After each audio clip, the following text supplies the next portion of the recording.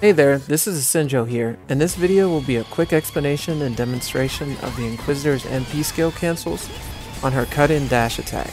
Normally you can only follow up this move with a jump cancel on hit into air attacks. But with this tech, you'll be able to cancel into any of your grounded MP skills after a successful hit of a cut-in dash attack, giving you more options for general combos and squeezing out some extra damage out of your juggles.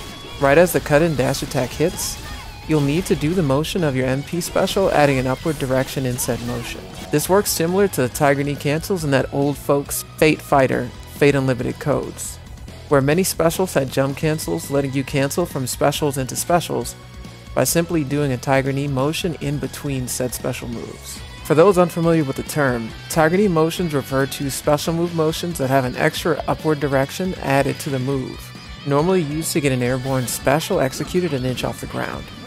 For the Inquisitor though, this works on both full motions and shortcut motions. Canceling in the Firebomb, you need to hit up, then the MP skill. This will not work if you press up and the MP skill. It has to be one button and then the other. Canceling into Noble Rage with full motions, you need to do your typical Dragon Punch motion, then end in any up direction before you hit the MP skill. For example, you hit forward, down, down forward, and then up forward and MP skill.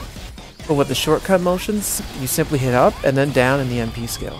Canceling into Summary Justice with full motions, you'll need to do your typical quarter circle forward motion and to get any up direction before you hit the MP skill button. For example, down, down forward, forward, up forward, MP skill.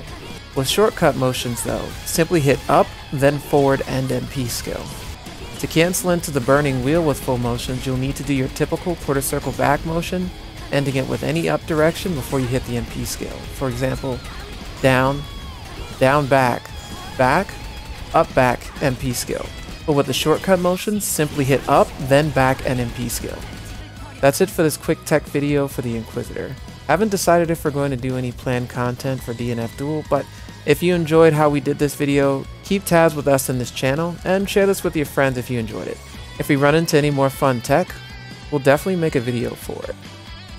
If you're about KOF 15 though, we have some Orochi team tutorials that are on the way. Thanks for vibing with us, and we'll see y'all again soon.